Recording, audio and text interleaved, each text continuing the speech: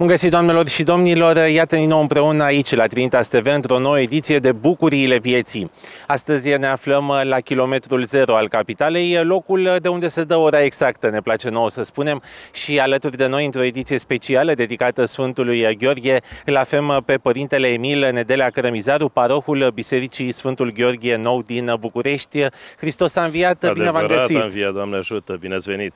Mulțumim mult, Părinte, că ne-ați primit. Iată, într-o curte atât de frumoasă a bisericii din centrul capitalei, un loc de unde spunem tuturor celor care ne urmăresc la mulți ani, pentru că este Sfântul Gheorghe și aproximativ 2,5 milioane de români poartă numele Sfântului Gheorghe, deci la mulți ani. La mulți ani tuturor, o zi plină de lumină duhovnicească, căci lumina învierii a răsărit în tot cosmosul și viața prinde sens și consens prin învierea Domnului și Mântuitorului nostru Isus Hristos. Pentru că este adevărul, este calea și viața. Și sigur, această înviere a lui Dumnezeu Fiul era necesară nu pentru Dumnezeu, pentru că Dumnezeu este viață, este necesară pentru noi toți. A fost necesară pentru noi toți ca din învierea Lui să ne dăruiască nouă perspectivă atât de înaltă, de sfântă, magnifică, printr-o iubire pe care nu o putem cuprinde cu mintea noastră limitată. Așadar, în ipostasul uman înviază Dumnezeu ca să înviem și noi, să ne arate că moartea chiar nu există și că viața este singurul și supremul adevăr care domnește în univers, pentru că Dumnezeu este viață, pentru că Dumnezeu este iubire, pentru că Dumnezeu este lumină.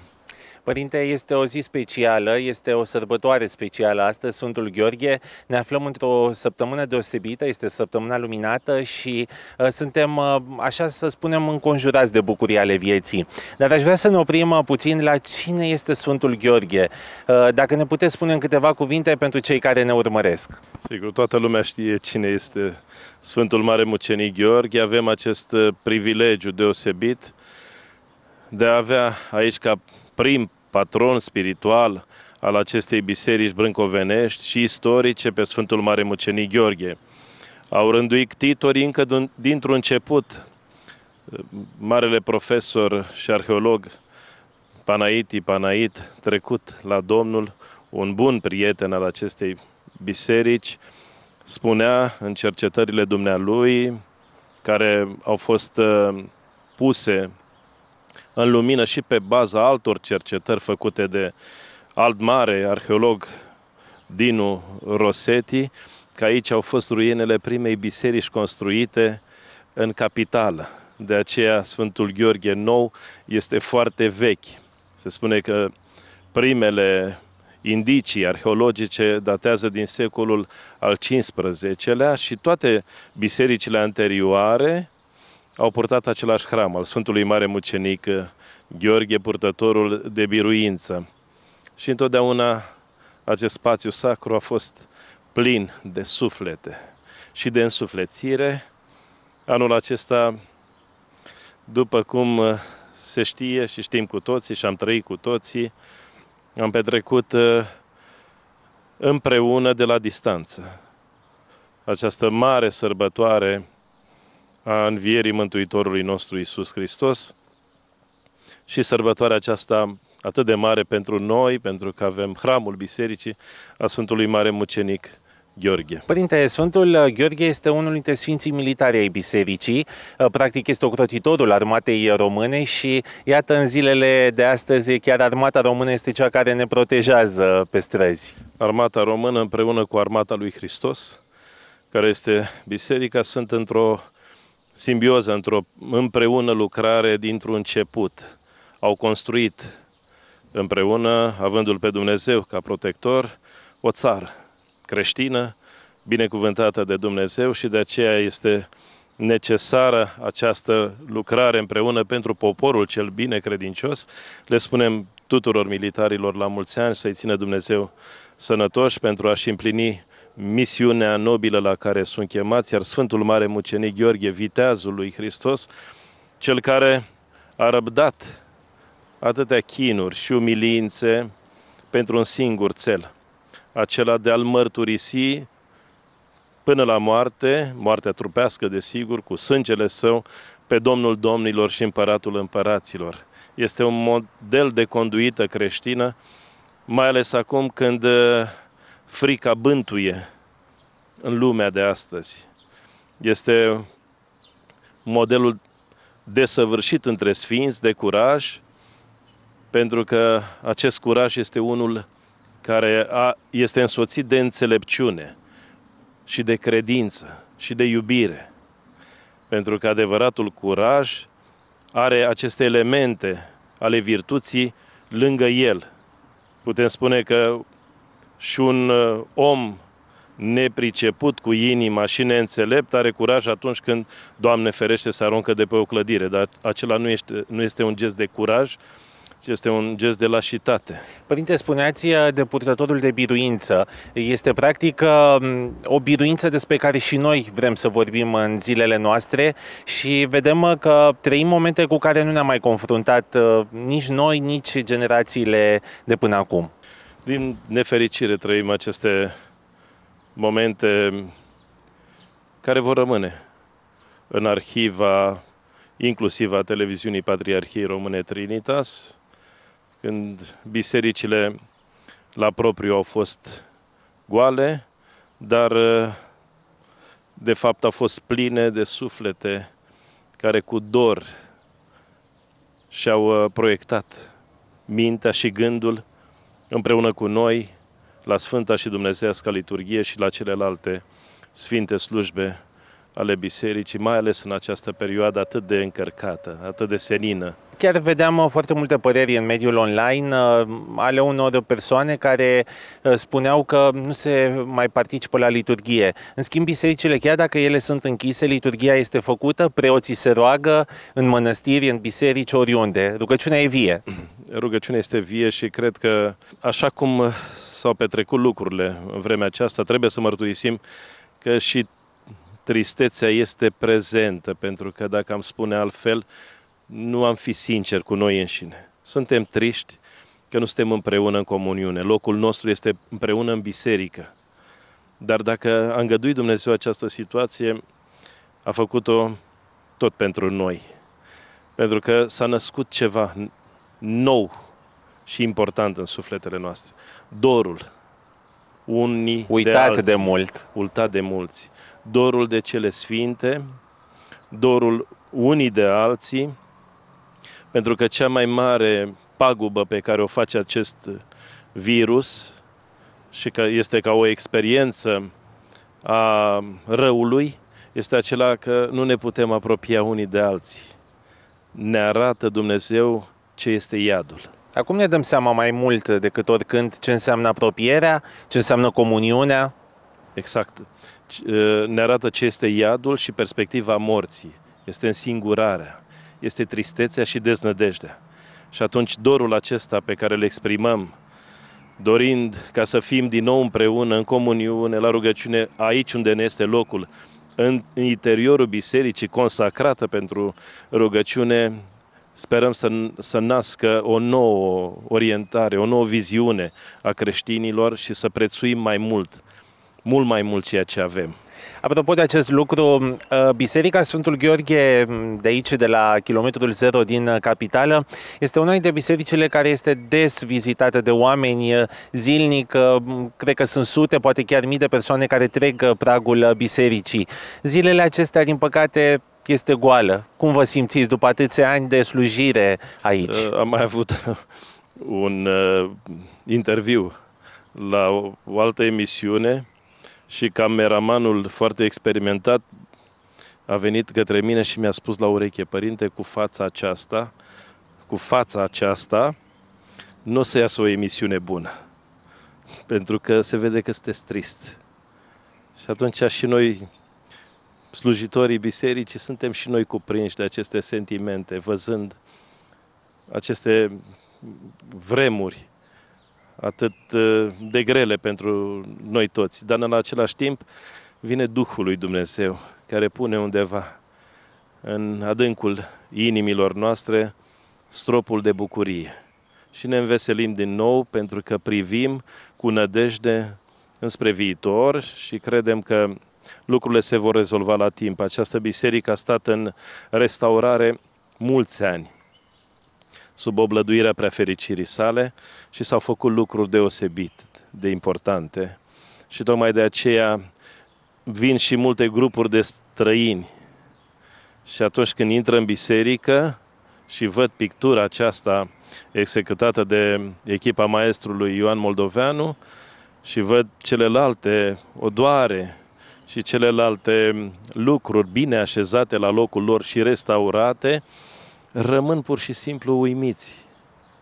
Aproape că nu le vine să creadă și mărturisesc de cele mai multe ori acest lucru și cred că aceasta este o bucurie care ne arată frumusețea bisericilor noastre ortodoxe și frumusețea minții ctitorului ei, marele nostru martir și sfânt, Vodă Brâncoveanu, cel care a lăsat această frumoasă moștenire pentru noi toți.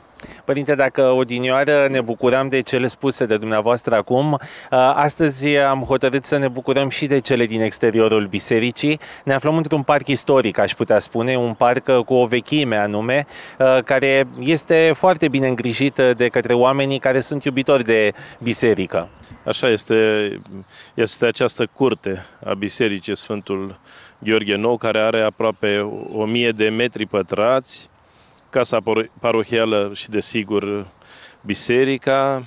Ehm, a trebuit să muncim mult și să depunem multe demersuri pentru a recupera ceea ce aparține bisericii. Această curte, biserica, ea însăși ca și entitate, ca și clădire și casa parohială și centrul social care este lângă casa parohială, după vreo 5 ani de instanțe, a biruit. Am biruit nu noi, ci Sfântul Mare Mucenic Gheorghe, Sfinții Martiri Brâncoveni, pentru că, de fapt, este moștenirea lor. Părinte, încercă de fiecare dată să le arătă telespectatorilor noștri uh, bucuria ale vieții pe care oamenii le trăiesc, uh, intervievații noștri sau invitații din cadrul emisiunii. Aici însă, la Biserica Sfântul Gheorghe din uh, centrul capitalei, știu că sunt foarte multe bucurii ale vieții trăite de către oameni atunci când se întâlnesc cu Sfinții, cu Sfântul Nicolae, cu Sfântul Martir Constantin Brâncoveanu. Greșesc?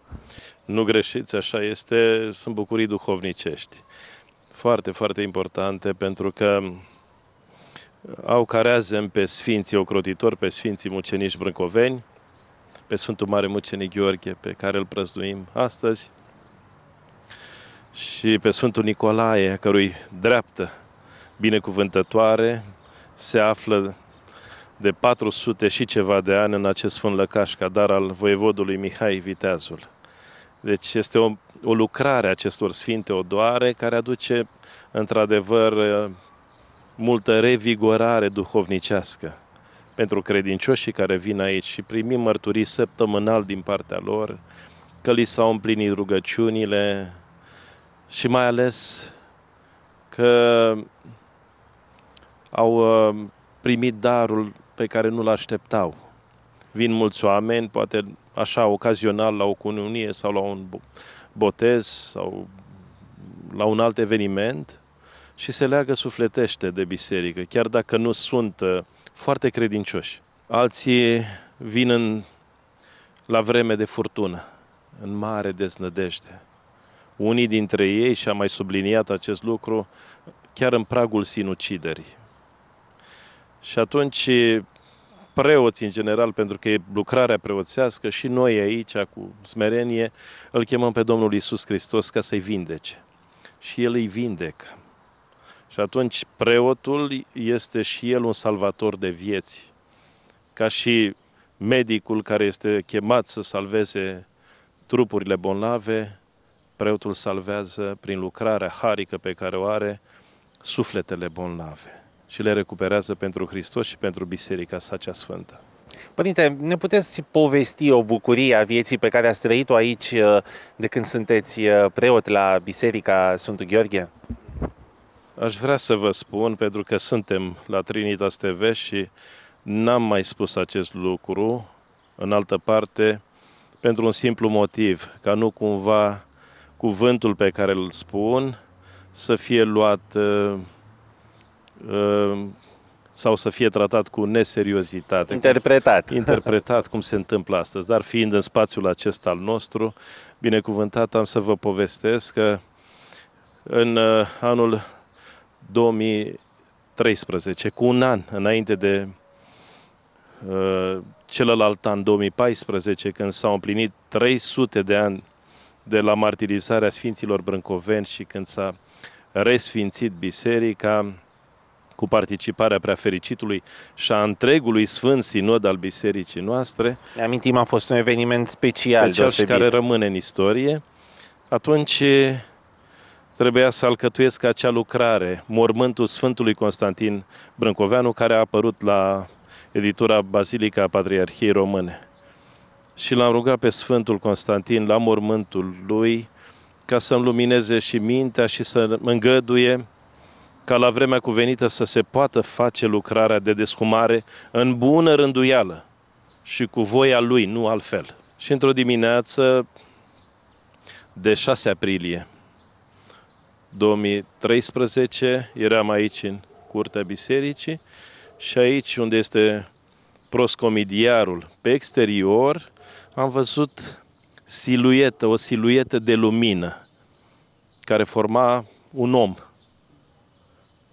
M-am apropiat ca la 20 de metri și mi s-a părut interesant și am luat telefonul și am făcut o fotografie. Când am apropiat uh, fotografia respectivă să văd mai de aproape, pentru că a durat vreo jumătate de oră această lumină care stătea acolo, am văzut uh, că pe poalele veșmintelor acelei lumini, acelei lumini, acelei siluete umane, era monograma creștină. Hristos, cu litere grecești. Și parcă îl vedeam pe Sfântul Voievod, așa cum este înfățișat el, pe statuia alcătuită de Oscar Han din fața bisericii. Și mi-am dat seama că acesta este un semn de binecuvântare. Iar preafericitul a rânduit, după aceea și-a dat binecuvântarea ca o comisie formată din specialiști să facă această descumare a mormântului voievodal în luna mai din anul 2014, în bună rânduială, cu înalta competență a acestora, cu participarea celor de la Academia Română, Institutul Antropologic, și să identificăm sfintele moaște martiricești ale acestui mare sfânt al lumii întregi, Constantin Vodă Brâncoveanu. Pentru că este o biserică a mucenicilor și există această legătură între Sfântul Gheorghe, cel care este cunoscut în întreaga lume datorită curajului său și jerfelniciei sale și Sfinții Martiri Brâncoveni. Deci iată încă o dovadă în plus a faptului că deasupra mormântului uh, există acea candelă care arăta că acolo este Sfântul mormântat. Așa este. Uh, a fost descoperită în anul 1914 și se știe că am tot povestit aceste lucruri atât de importante care au rămas în istorie și mi-aduc aminte că împreună cu domnul uh, profesor Panaiti Panait am participat la o emisiune chiar aici, în curte. Și am vorbit despre aceste aspecte pentru că dânsul mi-a fost uh, de mare ajutor.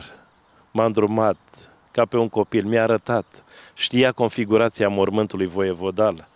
Și atunci când l-am sunat în 2009, într-o seară m-a îndemnat părintele Gelu Bogdan, zice, sună-l pe domnul profesor Panait. Și l-am sunat și am spus, bună seara, domnul profesor Panait, aș vrea să vorbesc cu dânsul. Da, sunt profesorul Panait, I Panait, pentru că vreau să pomenesc și inițiala tatălui meu, Id, de la Ion, care era preot. Zic, tot un umil preot sunt și eu, domnule profesor, și aș vrea să vorbim despre Biserica Sfântul Gheorghe Nou. S-a bucurat tare mult și de atunci am rămas într-o prietenie frumoasă și sfântă și s-au făcut lucruri deosebite pentru biserica aceasta Sfinților Martiri Brâncoveni, ca să subliniez și această amintire frumoasă care mi-a rămas despre acest om deosebit, cu credință în Dumnezeu și cu o competență profesională deosebită. Părinte, spuneați mai devreme că de multe ori vin străini care trec uh, pragul acestei uh, biserici. Aș îndrăzni să spun că ar trebui să fie, de ce nu, unul dintre obiectivele turistice importante ale Bucureștilor. Uh, pe lângă teatre, muzee și alte lucruri frumoase pe care le vizităm, aici, la kilometrul zero, este până la urmă locul de unde se dă ora exactă, cum spuneam. Așa este această bornă care marchează kilometrul zero al României, a fost alcătuită în, în perioada interbelică. Și când a venit uh, stăpânirea comunistă, au astupat cu brază de pământ acest monument, pentru că acolo erau trecute localitățile din ceea ce denumim noi România Mare.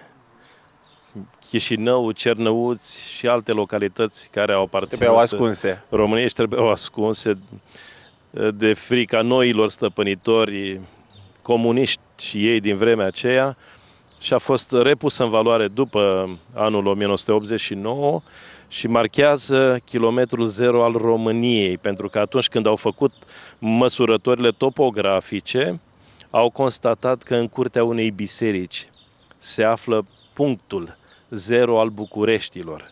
Era în biserica celui mar, mai mare martir pe care l-a dat țara aceasta vreodată și poate Europa aceasta creștină vreodată. Eu vă propun să explicăm în câteva cuvinte și ce înseamnă kilometrul zero, pentru că mulți, poate dintre cei care n-au ajuns încă în București, uh, sunt așa un pic nedumeriți. Da, este de aici să măsoară de distanțele în kilometri în toată țara. Către toate orașele. Către toate orașele și destinațiile din țara noastră și așa cum am spus și din ceea ce denumim noi România, aceea rotundă și prea frumoasă și de aceea este un monument care aparține patrimoniului nostru național. Alt monument care aparține patrimoniului nostru național este și această statuie despre care am vorbit a Sfântului Voievod Constantin Brâncoveanu, alcătuită tot în perioada interbelică de un mare sculptor pe care l-am pomenit, Oscar Han. Și sigur, biserica este cea care aduce multă lumină și mai multă lumină după ce și-a primit prin restaurare frumusețea pe care a zidit-o titorul Constantin Voievod dintr-un început. Și de aceea bucuria noastră este de plină a tuturor celor care slujim aici la, cel, la acest sfânt altar și a tuturor credincioșilor care vin aici și se roagă înaintea acestor sfinte odoare care răspund la rugăciuni întotdeauna. Părinte, ce spun oamenii atunci când vin și văd această bijuterie, aș spune, uh, și trebuie să menționăm că aceasta este o ctitorie integrală a Sfântului uh, Constantin. Da, este sigura ctitorie a Sfântului Voievod Constantin Brâncoveanu, rămas în București. Sigur că sunt ctitorii brâncovenești în uh, București mai sunt și altele, cum avem Domnița Bălașa, este construită de fica Sfântului Voievod. Uh, Domnița Bălașa, cea care a lăsat și o candelă aici în biserica noastră, la anul 1742, uh, la mormântul soțului ei, Marele Ban Manolache Lambrino, care avea descendență imperială de la împărații bizantini. Și sunt multe alte rude de sânge ale sfinților brâncoveni care au fost înmormântate în acest uh, loc, în această biserică. Două dintre fiicele sale, Ilinca și Anca, sunt înmormântate aici și iată, prin aceasta putem spune că este o necropolă domnească și locul acesta respiră a sfințenie. a bucurie duhovnicească, pentru că mai ales acum că suntem în această vreme de mărturisire a învierii lui Dumnezeu Fiul și a învierii noastre prin El, ă, vedem lumina de pe chipurile oamenilor, chiar dacă trecem prin aceste vremuri atât de grele, nădejdea este una dintre virtuțile cardinale care ne mână pe toți spre mântuire. Le simțiți lipsa oamenilor? Simțim lipsa oamenilor și așa cum am spus, uneori avem un sentiment de multă tristețe pe care l-am mărturisit când ieșim ca să-i binecuvântăm în biserică și biserica este goală. Sau când ieșim să îi chemăm să primească Sfânta și Dumnezeiasca împărtășanie. Dar știm că dincolo de aceste ziduri binecuvântate și sfințite, sunt alte ziduri făcute din sufletele lor, care așteaptă cu multă bucurie și așa cum am subliniat, cu mult dor, reîntâlnirea noastră în Isus Hristos, învățând să prețuim mai mult ceea ce am primit de la Duhul Sfânt, lucrarea Duhului Sfânt în ziua cinzecimii, adică biserica cea vie și netrecătoare a Domnului și Mântuitorului nostru. Părinte, într-adevăr, de multe ori trecem pe lângă lucrurile simple uh, și vedem uh, că de multe ori uh, ne îndreptăm atenția către tot ceea ce înseamnă agitația cotidiană. Iată, astăzi timpul parcă a stat în loc, parcă ne-am oprit din tot, obligați, forțați, poate era timpul să ne oprim puțin în loc, tocmai ca să redescoperim aceste bucurii ale vieții, să-i descoperim pe cei de lângă noi și dorul acesta de care vorbeați și un cuvânt, iată, pe care nu-l mai întâlnim niciunde în lume. Așa este. Cred că lumea astăzi trebuie să se dumirească puțin. Viața va reveni la normal. Sperăm ca în acest fel, prin această trecere, printr-o durere ca aceasta, să înțelegem că ar fi bine să privim mai mult spre cer. Să înțelegem că sărbătorile sunt dedicate lui Dumnezeu. Spuneam cu durere, și noi, ca și alți, ierarhii subliniau în uh, predicile lor faptul că ziua învierii este dedicată exclusiv sufletului. Și sufletul seamănă cu Dumnezeu. Și atunci vedeam în toată mass media, de multe ori, cu durere, constatam la televiziuni că și în noaptea de Paști și în ziua de Paști, imaginele, în loc să fie din biserici sau din locurile unde lumina Dumnezeu fapta cea bună, erau din cluburi și din alte locuri unde se întâmplau tot felul de lucruri care nu aveau nicio legătură cu sfințenia zilei. Și atunci Dumnezeu a oprit în loc această minge albastră care plutește în univers, planeta Pământ. Și a spus nebunilor, în această noapte s-ar putea să cer de la voi sufletele voastre. Și ce a strâns cui vor rămâne. De aceea cred că este doar un avertisment pe care ni-l dă cu blândețe și cu iubire.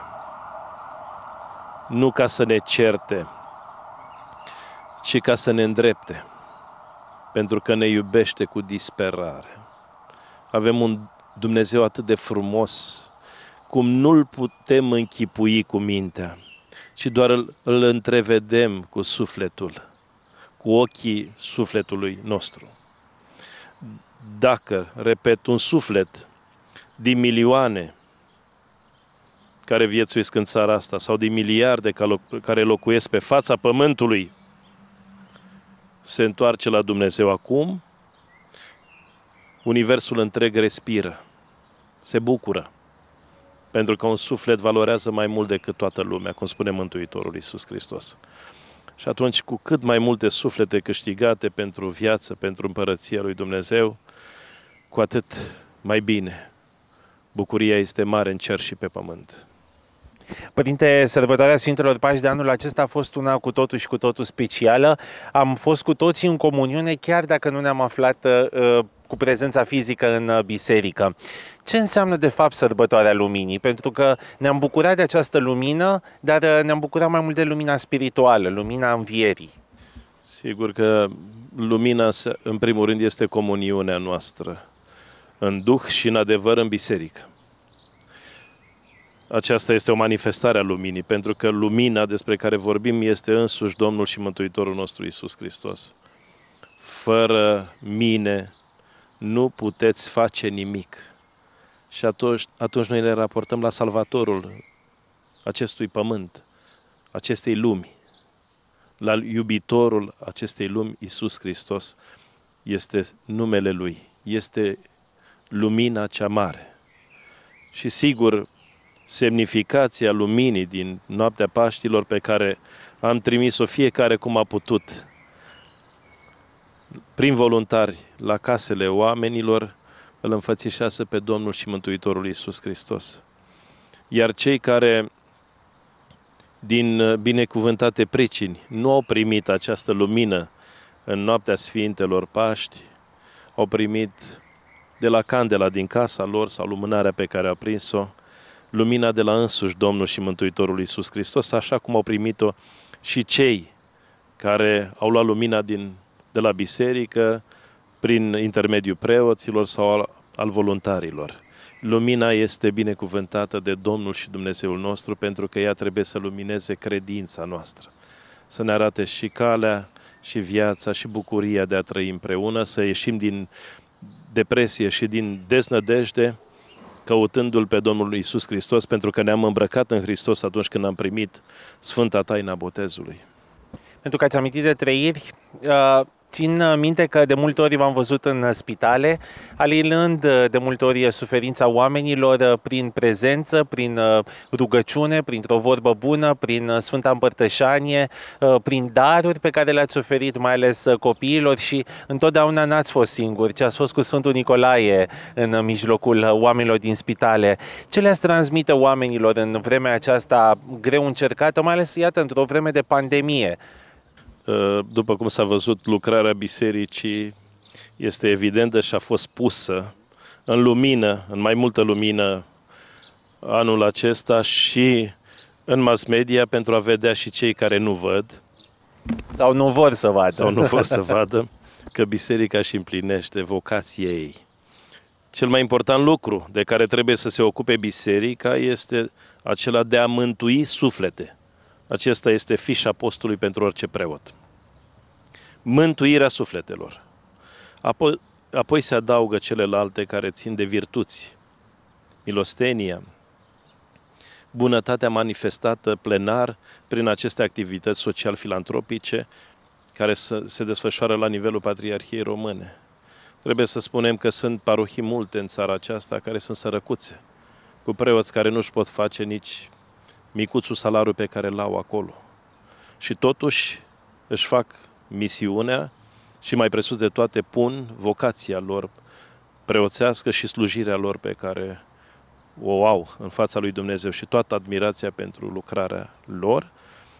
Și cred că biserica împreună, lucrătoare, cler și credincioși, va aduce binele și va contribui la binele social, așa cum a făcut-o întotdeauna, pentru a echilibra și a scoate lumea din spitale, a scoate lumea din închisori, a scoate lumea din azile și din alte locuri ale durerii.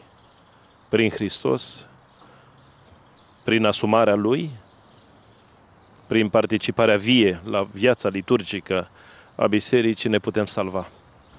Uite, medicii își fac treaba bine și le mulțumim pentru ceea ce fac. Iată, în aceste zile sunt alături de cei bolnavi. Poate de multe ori unora dintre ei le-a fost frică, le-a fost frică pentru ei, pentru familie, dar ei au fost acolo, alături de oameni, iar preoții s-au rugat atât pentru pacienți, dar mai ales pentru medici.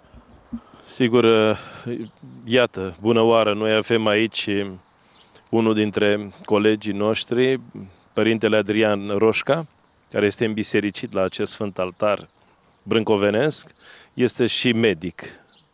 Adică este și doctor de suflete și doctor de trupuri. Și atunci îmbinăm această lucrare foarte bine și cu competența preacucerniciei sale, iubește preoția din adâncul inimii și face tot ceea ce face cu bucurie. Are și o clinică a familiei și împreună cu medicii pe care îi are acolo, împreună lucrători în demersul lor medical, fac mult bine și celor care au nevoie de ajutor, celor care sunt în necazuri și în suferințe. Avem și mulți alți medici care sunt fiii noștri duhovnicești aici.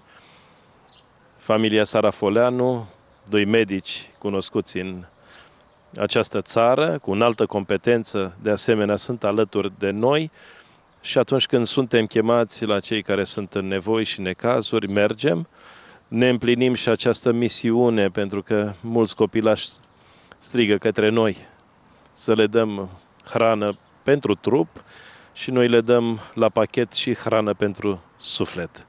Ca împreună, lucrând așa, să construim niște oameni buni pentru societate, pentru țara aceasta și pentru biserica noastră cea sfântă. Aș îndrăzni să spun că din acest pachet al tratamentului uh, trebuie să nu lipsească rugăciunea, mai ales în aceste zile, nădejdea și credința. Exact așa este, pentru că uh, degeaba am face noi oricât am face pentru trup și i-am hrănit pe cei pe care îi avem în asistență socială, dându-le hrana necesară zilnică, dacă nu, am, dacă nu le-am dat ceea ce este necesar pentru sufletele lor. Să-i schimbăm în bine, să-i facem oameni adevărați, pentru că ei sunt viitorul bisericii noastre. Și trebuie să avem mare grijă pentru că responsabilitatea lucrării noastre preoțește este imensă cuprinde cerul și pământul. Privesc îngerii către noi cum ne desfășurăm această lucrare de recuperare a sufletelor pierdute și de construire a acestor suflete plăpânde, care sunt copiii. De ce ne este oare mai frică astăzi? De moarte sau de suferință? Pentru că auzim foarte mulți că se tem, le este frică de Sigur. acest virus. Și frica și moartea ne arată ce nu este Dumnezeu. Pentru că îl prăznuim pe Sfântul Mare Mucenic Gheorghe, care ne arată că nu există frică. E doar un incident. Pentru că omul a fost creat fără frică. Iubirea este cea care îl construiește pe om de plin și nu mai are frică de nimic, nu mai are teamă. Acestea sunt doar umbre ale întunericului. Și moartea, de asemenea, ne spune Mântuitorul că nu există. Acesta este mesajul pe care îl dă întreaga Evanghelie și întreaga Sfântă Scriptură, că suntem pe aici călători, dar călători care trebuie să culegem multe roade, ca să mergem acolo unde trebuie. Și roadele acestea le culegem prin fapte bune, prin credință, învățând să fim cu adevărat oameni, îmbrăcați în Duhul Sfânt. Pentru că o societate care nu și-l asumă pe Dumnezeu este o societate pierdută. Acesta este marele strigăt care se face din cer pentru întreaga omenire. Întoarcerea la Dumnezeu. Altfel pierim. Mai știm oare să ne bucurăm de viață mai ales în aceste clipe, să descoperim bucuriile vieții. Să știți că bucuria este un dar al Duhului Sfânt. Se veselește inima. Când se veselește inima, chiar în aceste clipe care sunt, așa cum am spus, dureroase, atunci Duhul Sfânt lucrează acolo. Este o, o aripioară a îngerului care mângâie inima. Și noi nu trebuie decât să ne deschidem această față a inimii către darurile pe care le primim, pentru că Dumnezeu ni le dă, stă acolo la ușă și bate, cum ne spune Sfânta Scriptură, e prezent. Părinte, mi-aminteam că, nu știu, în timpul anului, așa, în toată agitația asta cotidiană, de multe ori chiar tânăra generație este tentată să spună ah, ce stau o săptămână acasă degeaba, să nu fac nimic. Iar iată, acum când am fost îndemnați de autorități să stăm acasă, deja nu mai suntem noi, încercăm să devenim agitați, nu ne mai regăsim. Important este să nu stăm degeaba acasă, ci să folosim acest răstimp pentru a ne recunoaște pe noi. Cum să facem asta? Uh, sunt multiple modalități.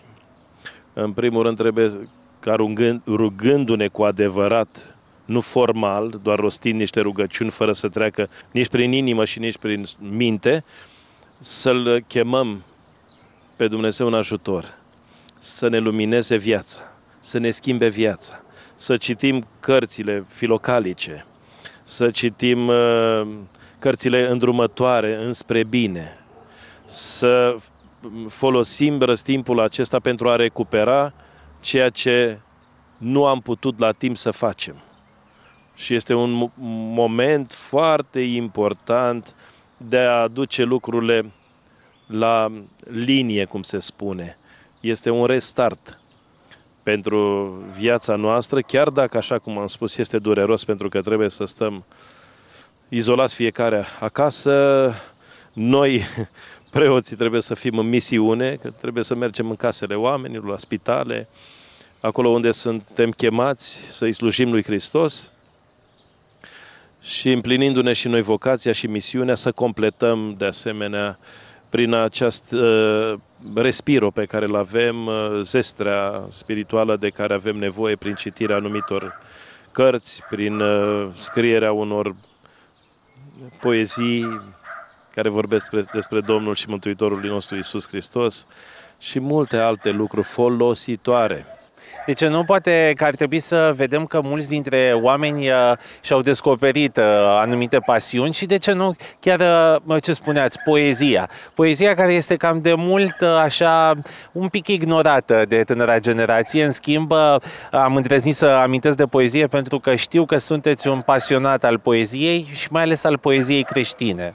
Da, referitor la tânăra generație, înainte de a citi o rugăciune pe care am dedicat-o Sfintei învierea Domnului și Mântuitorul nostru Isus Hristos, trebuie să spunem că și să recunoaștem că multe duhuri necurate umblă răgnind cal, caleii ca să cucerească și mințile și inimile celor tineri. Este un veritabil război care să dă împotriva credinței.